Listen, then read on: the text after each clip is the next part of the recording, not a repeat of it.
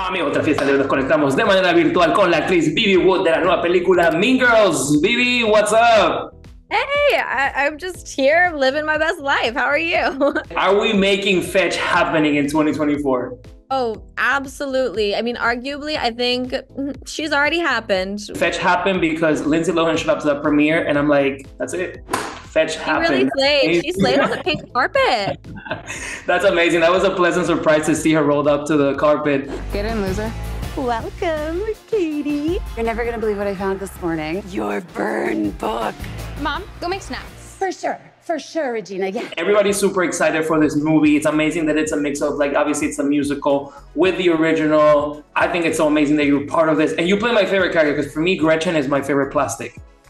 That's awesome. Thank you. Yeah, she's she's so cool. I mean, she's one of my favorite characters as well. So it was like huge honor, also kind of intimidating, you know, to take her on. Um, but I had such a fun time with her. I, it, she's just such a fun character to play. I want to focus on a scene because obviously the Christmas number is iconic. And yeah. you guys, I feel like in this movie took it to the next level. You know, I know you were with a mm. choreographer. Uh, talk to me about like the preparation for the scene there's actually like a lot of prep that went into it because of course we have to learn the dance but then also there's the stunt because in this version you know there's some some things a little different so um so we had our amazing choreography team and then we had our amazing stunt team uh, we learned the dance back in february and we rehearsed we rehearsed we rehearsed we rehearsed the stunt as well. And then you know about a month later in march we we shot that. So it was like a couple weeks of rehearsals in preparation for for that big sequence. It's crazy to me to think that the original came out like 20 years ago.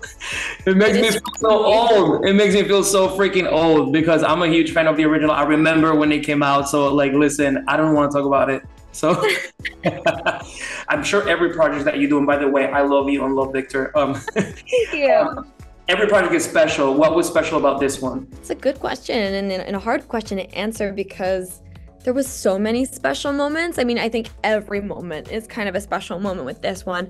It was a special moment to reunite with Tina Fey after having, you know, sort of um, passed my 10 year milestone as a professional actor. She was my very, very first scene partner, like as a professional actor.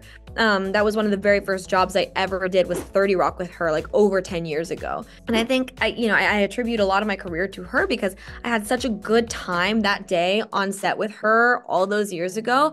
I think that's really what inspired me to keep going because my parents didn't want me to be really an actor. Like I wanted to do it on my own volition. So I think if I had that day on set and I didn't have a good time, I probably just like wouldn't have kept acting.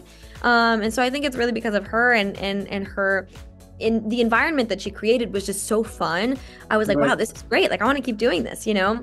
Everyone, come and watch Mean Girls in the movie theater. It is so much fun. And, and, um, I think, uh, yeah, anyone who goes is going to have a good time, I think.